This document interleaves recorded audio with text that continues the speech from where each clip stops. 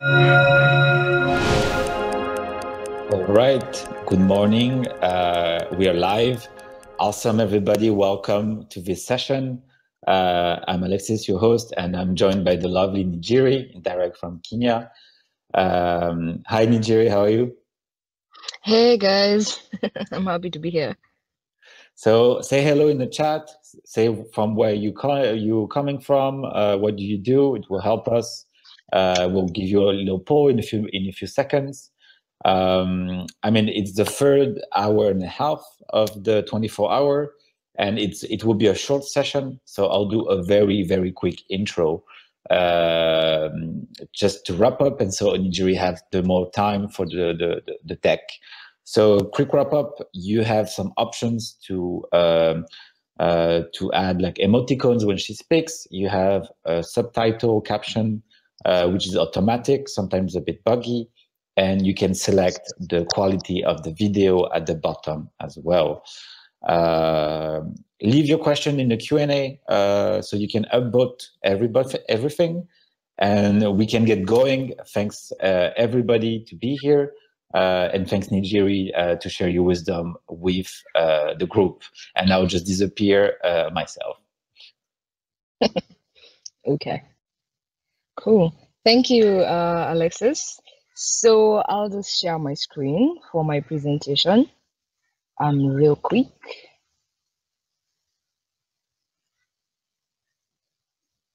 All right. Um, cool. Here we go. Great. So product design as a shared resource. Um, welcome to 24 hours of UX. Um, it's going to be like a full day of nonstop planning for UX and I think that's great. I think I'm always excited about these things because you get to hear something from everyone from the rest of the world, all the communities. So why did I choose this topic? Um, we shall see very shortly because this happens more often than you think. Great. So who am I? well, I identify as a UXer. Um, I sit in many roles here and there. Uh, so currently, I'm the design studio manager at Microsoft. Uh, previously, I was a UX leader at Africa's Talking, which is a startup uh, down here in Kenya and then also I'm the founder and co-organizer of UX Kitchen, which is the community that's bringing you this talk. So I'm the representative today, and then I've been a UX instructor at a place called Akili Plus as well. All right, so um, the agenda today somehow in 30 minutes i am going to 30 minutes great i am going to be able to introduce why why this topic what what's a shared resource um, and how to know that product design is a shared resource in your organization and why this is important. And then also how to go about it when it comes to the team, the projects, and ops. Um, cool. So, shared resource. What is a shared resource? Think of HR, think of finance, think of accounting. I guess finance and accounting is maybe same wing. Yeah. So, a shared resource means that you're a reference point for the rest of the organization. So what this looks like in the product world is that most of the projects that most of the work that your team does is very project based, not product based. And the difference would be so, say, for example, we have a company that has three main products, and each product has a team attached to it. So, there's like development, there's engineering, um, there's design, there's PMs, and all that. And then, then another scenario where there's um, there's like three projects, but we we have like engineering teams to those projects. But then for the design team, it's like like one team across the entire the entire scope of like all the products that they have. So that's how you know it's a shared resource. And why does this happen often? Is because as much as design has done great steps to get to um, where we are at right now, it's still picking up. It's not considered as core as engineering and that's a mistake right? However that's the situation. So what do we do about it right? How do we go how do we create um, space for design uh, when there's not enough resources? Okay so this is how you know that product design is a shared resource in your in your company or in your organization. So consider this part as you know how those blogs and tabloids are like how to know you are in a horrible relationship and then it's like um number 17 is a you so sometimes it's, it's like you didn't already know, right? But here are your here are your pointers to know that product design is, is a shared resource in your organization. So one is your design team dealing with a million projects at a time. That's a pointer. Um, are people not exactly sure what the design team does, but they look like the cool kids, so they get a pass. Like, I, I don't know what you do, but like, you know, it's cool. So that's also a, a pointer that you, you, your, your team, your product design might be a shared resource. And then there's um, the design team always seemingly has a closer deadline than the other teams. So it's like they're rushed, they're rushed more, and they're not given enough time and all that. And then the design team is also like low key popular because everyone has interacted with them at some point. That's because everyone goes to them for something, right? And then there's that other guy who no one knows because not everyone goes to them. And then there's an easy scapegoat for lazy projects. So like when something's not um is not done on time. It's like oh i gave it to the product design team and um, the progress has not moved. So they're like they're, they're an easy scapegoat when something is not ready. And then um, they seem more unfulfilled than fulfilled. So there's a lack of a shared vision. And the reason this happens in a product design team is because they're constantly working on so many things. So there's no shared vision. There's no product or something that the whole group is working towards. So that's also a pointer that it's a shared resource Great. So, what are the must haves when you realize now that you know that you are in a space where design is a product design is a shared resource? What are the must haves uh, for this to go right? So, one, you need a playbook for different outputs. So, so for example, um, if your work looks like this brand, this brand work, uh, so those could be that could be logos, color scheme, and all that. And then there's UX, uh, there's UX work that's like uh, fleshing out the concept. And then there's UI work, which is aesthetics, and there's com, so let's say social media and all that. Um, you should have playbooks. So, and is this is not like mighty pages of like uh, this is what we do every step this is just something it can it can literally be a one pager something that the team knows when it's brand work this is where we start this is the process and this is where it ends um, Cool. So for the next thing is education of the processes to the rest of the organization. So what that looks like is remember how we said a pointer is when the team, when the rest of the organization is not exactly sure what you guys do.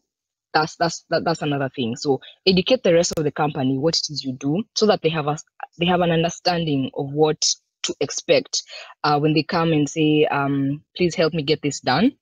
It's not like they want you to be, "Oh, it's it's gonna be ready in two hours," or it's just design it's just design. Why is it taking long, longer than two days? So that there's no that. But this is taken care of when you educate the rest of the team.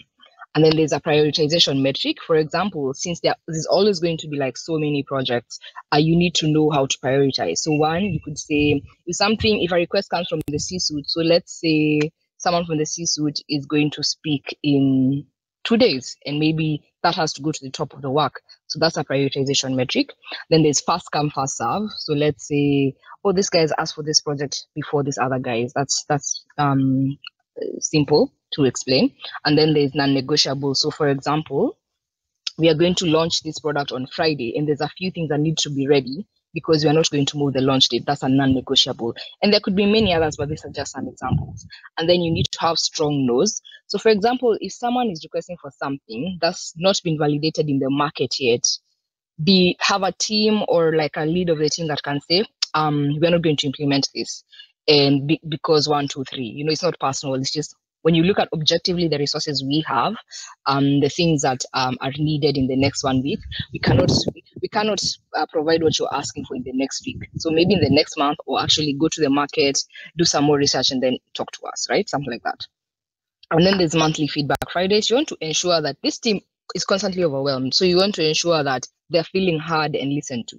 So you could do like every once a month, there's a feedback Friday where guys just say, Oh, this is bothering me. And it's not like about even work, like you're not planning work or like reviewing work. You're just asking guys how they're feeling about how the month has been and how work has been going on. Yeah.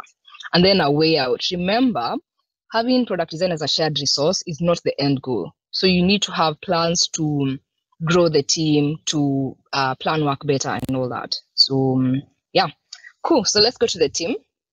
So when it comes to the team, um, assume you have someone like a brand designer, and then you have a UX designer, and you have a UI designer. Um, or sometimes you even have like a full scope product designer so that's like a unicorn and then maybe oh, let's even say it ends there so one know your resource needs very well know um say you have a full scope product designer what it is that they're really what is it that they're really good at? So what part of the projects are you going to share with this person? And then who's good at the other thing? Also know what you don't have. So when you're posting so let's say when you're hiring and you have a job description, be very clear on what it is the team needs at the moment, what it is you don't have, um, who's very overwhelmed, and what is it that they're good at, and how can you complement this. Um, then the next part is the culture. So you have to prioritize kindness over micromanagement. In a space where you don't have enough resources, people are constantly going to be overwhelmed. And if they feel like they don't have the freedom to work, like they're not being trusted, that of course that's gonna like destroy the mood and you don't want unhappy people to do work. It's not gonna be good work, right? You also don't want a workplace where uh, people are not feeling motivated. So um, in such when you realize um, you're dealing a lot with like design as a shared resource, you want to show trust. You want to make people comfortable. You want to make them feel like um, work is almost it's not a it's not a call. Like it's not something that they have to do, something they enjoy doing, and that's by creating an environment they want to be around, right? The other thing is today I learned. Um, whereby it's like um, so what happens in a product design setting um, that is a shared resource is that people often feel like they're a soap factory. What this means is like you're constantly getting work and putting it out constantly getting in work and putting it out. So guys are not learning. And remember if you have a team that's very like competitive like as a person i want to feel like i'm growing my skills um I want to feel like I am on top of the trends of the industry. And if I'm constantly putting out work, I'm not in charge of that. So, an easy way I found to do this is whenever we have weekly stand ups, one of the things that people talk about, and it's not a must uh, so that people don't feel pressured, but one of the things that we encourage is today I learned. I found this on Reddit. Um, so, what that looks like is that I'll come here and I'll say, hey, I learned how to use a FigJam file uh, and this is this is two things I can teach you guys. You can even give someone like a five minute presentation if they'd like. So that way, even when they're overwhelmed by with work during the rest of the week, um, they can be like, "Oh, I learned something." So there's always like a constant flow of new information. Hey, Njiiri, sorry to interrupt. I think the deck yeah. went off. Uh, oh, yeah, it disappeared. Yeah. So just to let you know that uh, like okay. people are not seeing it, so maybe okay, probably just it, it jumped in. So I'll let you right. just reshare and wait for for this to have come back. Uh, cool. Thank you for letting me know. Let me try this again. Um, projects present. Can you see it now? Uh, yes, now it's good. Okay, perfect. Great. I'll leave you to it. yeah, great. Thank you for letting me know. No um, cool. Uh, so what we just discussed is what to do with the team. So know what they know who's good at what and what you need. And then culture, prioritize kindness and create a work environment that's great. And then today I learned is make the team feel like they're not constantly putting out work and not growing their skills. So just like a weekly thing where people learn, people say what they learned. Let's move to projects. So for projects, when you're planning work, decide, decide outputs together and then attach to calendar invites. What this looks like is that um, when we say we're starting a new project today, just be like, what is expected as an output of this project? So there's going to be, for example, again, brand work, uh, let's say a brand guide. Uh, there's going to be for UX, there's going to be, let's say, user stories and like a user flow. And then for UI, there's going to be a prototype, like a high fidelity prototype. These are outputs. So you have to attach them to calendar invites. So that looks like we need to have a prototype by 15th of this month. And then on that 15th, and then it's not like something that from up down, everyone's deciding this. And then you send out calendar invites. So at the back of people's minds, it's always like this is expected on this date so that's what that part means. And then there's owning the work. There's um so for owning the work, you you're constantly going to work together because it's just like one design team.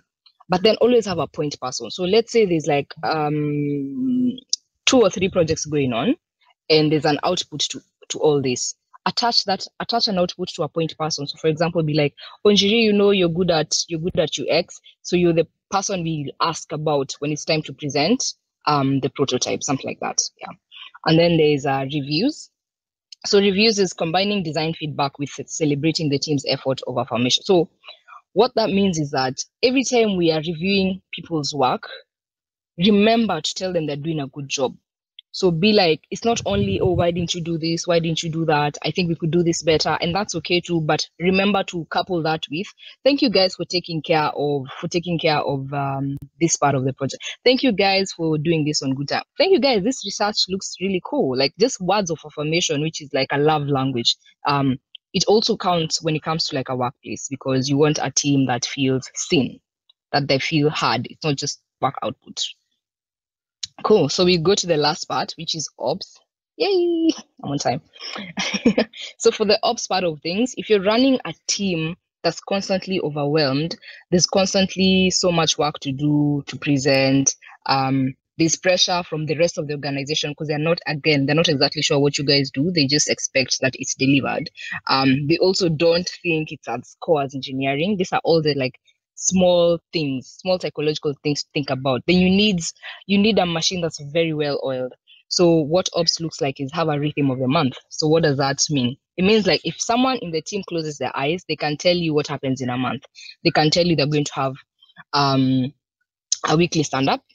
Then they can tell you every two weeks they're going to have like product reviews because for example portions of work take about two weeks and then they can tell you that every once a month they have team retros so that's the uh, feedback friday we were talking about so if there's a rhythm of expectation of work they don't feel lost because things are not coming as much as things are coming in from everywhere they don't they're not that they're not like uh, it's not murky there's an expectation of what's going to happen for the next month. So that's what rhythm of the month means. When it comes to tools, you probably want to use one design tool for a similar output. What does that mean? It means that if for UX and UI, if, if, when UX and UI is the output, um, use one tool. So don't be like there's a there's a part of the team that uses Adobe XD. There's a part of the team that uses um, I don't know something else. So um, for example, you could use Figma. And then there's um, and ensure it's a collaborative tool because you don't want a situation where um, guys cannot comment, um, someone's laptop couldn't open so no one has access to the file such things. And then there's um, branding again you can use another product but just make sure when the output is one the design tool is one. And you can also use one design tool for everything. For example i've seen teams that use figma even for communication for slides and all that. So that's uh, that's for tools. And then for the resource center it means that you see there's always going to be documentation and then there's actual design files. So for the documentation what you do is meticulously organize this so and all it has to be like on a drive. So if you if your organization uses google make sure you're using you're making very good use of google drive. Uh, if it's uh, microsoft it's um it's onedrive and then um and any other right? So how you organize files is that create projects and under those projects create output folders. So for example let's say the project is called laneige so if the product is called Laneige, under Laneige you'll have like output one is UX, and then that's a new folder. Is you is UI another folder? Is so that when I come to that folder, I'm not lost about where where what is right. And then for the design files again, uh, usually we use Figma at Microsoft. So you go to Figma and you will see that. Um, for this one team or for this one project, this is everything you might ever need. Even if someone presented something on slides, this is where you'll find it. So just meticulously organize things because you're constantly doing a lot at once. Cool. So in the case that that wasn't very convincing or you didn't grasp that very well, these are the things you need to ask yourself when you realize your product design is a shared resource. Number one, so we divide that into the work and the team. And number one is how do we decide goals as a team? Make sure that's again a well-oiled machine how do we plan work? That's what are the tools you're using to plan work? Uh, what are the timelines? What does um, what's needed and by who? How do we do the work? So again, the tools, the processes, the playbooks. How do we do reviews? How often? This could be like um, every two weeks. Um, and what's needed like have a have a template of sorts so that it's not um you're not deciding on the day of you're deciding okay this is this is the person who's going to present and this is how the presentation is going to go what's our handover process? Uh, when it comes to product design, there's always a partner somewhere. So you're either working with engineering, uh, marketing. Um, let's even go with those two. So what does handover look like um, for engineering, for example? So again, collaborative tools, um, explaining your prototypes beforehand, um, answering questions, and, and then there's also like the design QA, which is different from handover. So design QA means that um, so once the product is actually live, um, already from the engineering team. There's the part of the design team that goes and sees did they build what we had recommended? There's that because the user is going to have to deal with that again. Then when it comes to the team, the questions to ask yourself is how do you celebrate our work just to keep your team motivated? Uh, it could be on a blog, it could be how you do launches and such stuff. How do you uphold camaraderie? So it's like um, the feedback Fridays, like a virtual parties now that now that we're in the middle of a pandemic. Is a team happy? So again, are they feeling hard? Listen to are they growing? And then is a team growing their skills? How this is technical bit. How do you ensure that they're not a soap factory? Things are moving um, for their personal skill level. Yeah. And then are we working towards a more sustainable way of working? Remember, design as a shared resource is not the end goal. And it should never be. Um, so uh, what are the small things we are doing, even with our few resources, to make sure that everything's been taken care of? And in the future, like in like six months, it's not gonna be the same scenario. In one year, things are moving. Like you know, the team has grown, projects are taking um are taking like a life of their own because they have more hands uh, more hands on the team. Cool. So again, remember, as much as this was a guide on how to do design as a shared resource, the ideal scenario would be design is engineering. We want to consider, we want the rest of the organization to consider that design is engineering. It's it's very core to the product and organization success. And the problem is we can't complain that they don't think it's it's um it's core. It's our job as UXers, it's our job as the designers on the team to actually make a case for design. So remember to always um have a seat at the table. Remember to have your voice heard. Remember to show them the, the value of this part of the product work. All right. And then the next part is design needs time. So there's this thing I've seen when design is a shared resource where when a project is, is being planned for, they're like engineering, three to four months, or like, I don't know, four to six months. And then design is given, I don't know, two weeks. it's wild, right? Because there's so much work that goes into deciding what's the concept we are building. So remember to always have a time budget for design, and that is not crazy. That is not. It's not. It's not like two weeks or a week. Yeah. So um, know what the output is expected and make time for those outputs. And then design needs money. Allocate project budgets and hire, hire, hire. When it comes to project budgets, when it, people skimp on user research, so the first part and they're like, ah, guys already know what they want. No, no, no, no. Put budgets onto user research because that's the only way you're going to have great insights to build a great uh, a great product. And then hiring again, which is always a conversation, it's, e- it's always easier to hire an engineer than it is to hire a, a designer. Make sure that case is being made every every chance you get. So big like, okay, these are these are the needs we have as, as resource. This is what we currently have, and this is what we don't have, and this is what we need to hire for. Yeah. So um, always make the case to C-suite. And if you're part of the C-suite, this this this this is your message please make time for design because it's very critical to your success. Cool. So prioritizing this design is prioritizing success, as you can see. Um, I always put a quote. yeah. So by failing to prepare, we are failing to by failing to prepare, we are preparing to fail. So if you ignore design, um, success shall be ignored. Yeah. All right. So that's me, and I'm gonna stop sharing and hope. Alexis is back. Cool. Yay! Wait, take some time to load. Perfect. Thanks, Nju, for your talk. Uh, well, we have still five minutes, so if you want to take one or two questions, it will be good. Uh, I'll do my outro announcement already, which is in five minutes. Uh, you have a next talk. Uh, it's like uh, a keynote, so it's like uh, it will be the only one available um, and you just yeah need to go in the hermit in five minutes. So now just let me hide and please answer the question, Jerry. Uh, feel free uh, to go. Uh, I'll just unmute myself. Cool. Thank you, Alexis. Thank you, Alexis. Um, so we have when there's no new product, an engineering team is busy with bug fix daily. What can design team focus on? And that's a good question. So I guess that's the opposite of what we assumed, which is when you're not overwhelmed with work, what do you do? So usually what happens is I do usability tests. So remember, testing is not like the end of the design process. Testing continues forever. So I'll take the product to an, another user, figure out what, what should be our next iterations, uh, probably update the design system, which is something that people constantly ignore. So when it comes to UI and design is a shared resource again, you you want to be ready. So you don't create icons from scratch, right? Um, so you update the design system. Um, that's that's that's top of it for me. Um, I hope that answered your question. And then, cool. Okay, okay, cool. What's the difference between design QA and design review? So I'd mentioned this. So design review is basically there's an idea here. So let's say it's a new idea, um, or even it's an old idea and you want to improve the project. A design review is how have we changed uh, what currently exists to what's up, what's an ideal scenario when it comes to the product, um, user flows, and what the product is, the value it's giving to the user. So when you present a prototype, you present it to the stakeholders, the team, and they're like, okay, so this is what we've decided to go to go with as a concept.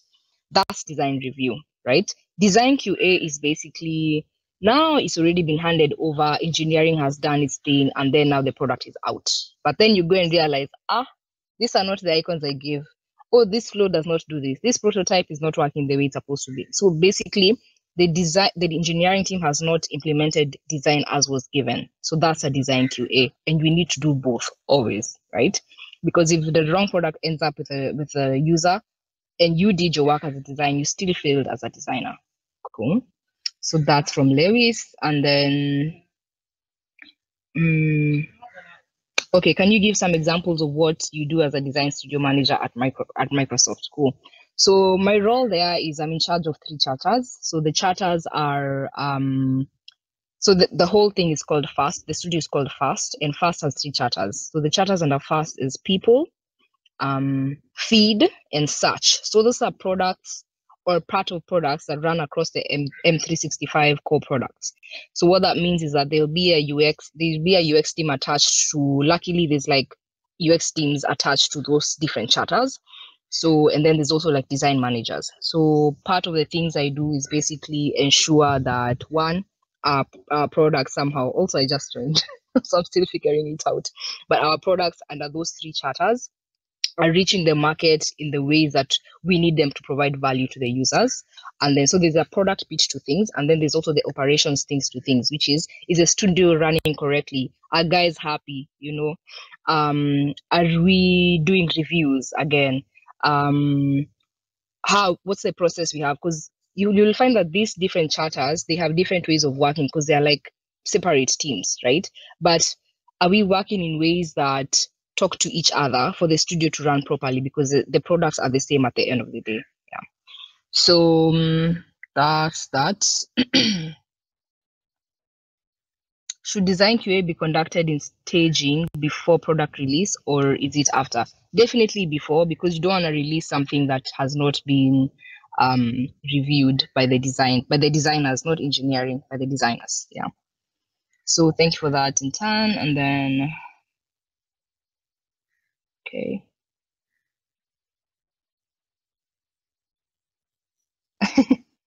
so Karen says, uh, good sharing. I have a feeling many areas that you have stated as the organization is stretching all of us. That's very true honestly, as a designer in any organization, there's a chance you're being stretched. There's a very big chance you're being stretched. And that's because just of the nature of the industry, it's still growing, but we've done big steps. So I see I see how this might not be a conversation in five years, right? But it is a conversation right now. So how do you go about it? So I agree with you, Karen. What are the examples of the playbooks around brand UX, UI, comms? That's from Lewis. So for that, I usually customize playbooks. So you'll find that um, depending on how a team likes to work or the nature of the problems that you're solving, you will have a different organization can have a different playbook. So that's basically um, you can create one yourself, depending on also the resources you have. You see, there's a team that's going to have a brand UXer, uh, sorry, a brand designer, a UXer, a UI, and then there's another team that's going to have just one product designer or like two product designers that are that are unicorns. So you see, the playbook is going to be different in that case. Um, so that's what I would say.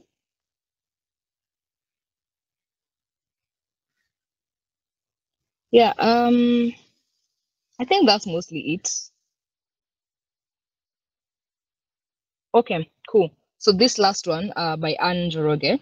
How would you advise teams to go about bulldozing since there there is little room for strong no's? Example, um, the C-suite founders' decisions override input from the design team. Okay, so yeah, that's tricky. It's always tricky because again, sometimes you're not the manager, so saying no is difficult. What I would say is communicate and educate. Um, it's not going to happen overnight, but what you should do is first of all tell your immediate senior um, if there's a structure for that. Tell them that this is not working for you, and these are the suggestions you have towards working better.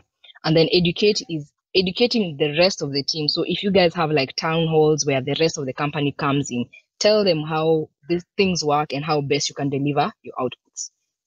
Um, that's what I would say right now. The other way, which would be best, when you finally do the presentation to the rest of the organization, have hard facts. So, for example, statistics. Be like, investing in design is going to move our product from metric A to metric B that's when you get the C-suite uh, interested because sometimes the C-suite does not even understand understand design. They don't even care as much, right? They care about the things maybe again engineering, finances, and stuff like that. So if you can tie it to something that they would care about, then design starts to make sense. To tell them this is failing because um our product adoption uh, is at uh, let's say this is probably a horrible number, but like 40%. We want to move it to 70%. And part of the problems we have are the flow of the of the of the product and such stuff. So if you can put numbers or things they care about and attach that to the value of product design, then you will win eventually. Not overnight, but you will win. Um, cool. All right, so I guess Alexis, you can come back and we could do the outro. And thanks again, guys, from um, this is UX Kitchen. And fun fact, I'm actually not in Nairobi, which is where UX Kitchen is based, but I'm still in Kenya. So this is Malindi. Um, yeah, it was really lovely to be here. Yeah, thanks, Njiiri, for your talk. It was awesome. So I'm just reminded now I'm pinning your uh, deck to the chat. So if you want okay. to find Njiiri's deck, it's in the chat. It will be on the top. Mm-hmm. Um, so thank you for your lovely talks. It was amazing. Uh, now, um, I would say, what do, do you need to say? Sorry. now it's like it's time for the keynote, um, and it's at ten. It's about design sprint. Uh, I guess it was a last minute change, uh, but then if you want to cool down, we also have a networking area. Uh, and also there is a podcast, uh, 24 minutes of UX that you can find as well um, online. Just Google it. So thanks for your time. Hope you enjoy the rest of the day. So many talks again, and maybe see you around uh, a bit later.